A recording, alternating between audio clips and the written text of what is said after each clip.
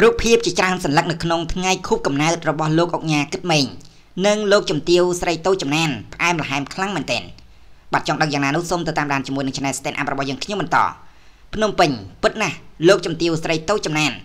បានធ្វើឲ្យបងប្អូនប្រិមិត្តទាំងអស់ចាប់អារម្មណ៍យ៉ាងខ្លាំងជាមួយនឹងជីវិតគ្រួសារដ៏មានសុភមង្គលជាមួយនឹងស្វាមីអ្នកអុកញ៉ាគិតមេងដោយតែងតែបង្ហាញពីសកម្មភាពសាមញ្ញសាមញ្ញក៏ប៉ុន្តែពោពេញទៅដោយភាពអែមល្ហែមគ្រប់ពេលវេលា ជាក់ស្ដែងកាលពីម្សិលមិញនេះគឺជាថ្ងៃពិសេសគឺថ្ងៃខួបកំណើតរបស់លោកអុកញ៉ាគិតមេងបាទអ្នកអុកញ៉ាគិតមេងបានប្ររពយ៉ាងអធិកអធមដែលកម្មវិធីទាំងមូលបានធ្វើឡើងនៅក្នុងភូមិគ្រឹះរបស់អ្នកអុកញ៉ាតែម្ដងនិងលោកជំទាវផ្ទាល់ផងដែរពោពេញទៅដោយស្នាមញញឹមរបស់ភ្ញៀវកិត្តិយសអេសរជនព្រមទាំងអ្នកជំនួយល្បីៗជាច្រើនរូបថែមទៀតផងក្នុងនោះផងដែរតាមរូបភាពជាច្រើនសន្លឹកបានបង្ហាញឲ្យឃើញថា ក្នុងថ្ងៃខួបកំណើតចម្រើនវ័យរបស់លោកអុកញ៉ាគិតមេងឈានចូលវ័យ52ឆ្នាំពិតជាមានភាពសោមនស្សរីករាយយ៉ាងក្រៃលែង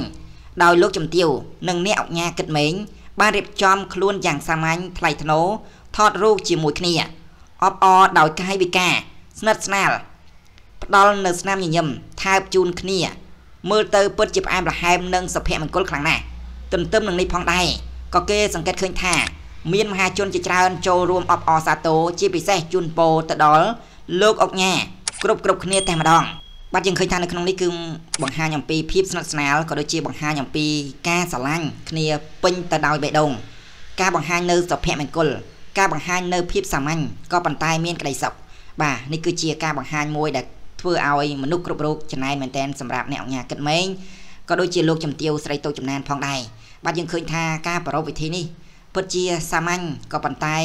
មានក្តីសុខខ្លាំងសម្រាប់ក្រុមគ្រួសាររបស់លោកជំទាវស្រីតូចចំណានក៏ដូចជាអ្នកអញ្ញាគិតមេងផងដែរបានចឹងខ្ញុំក៏សូមបញ្ចប់នៅព័ត៌មាននេះដើម្បីបន្តបាននៅព័ត៌មានបន្តទៀតសូមជួយចុច like ចុច share និងចុច subscribe លើ Channel Stand Up របស់យើងខ្ញុំផងដែរបាទសូមអរគុណសូមជម្រាបលា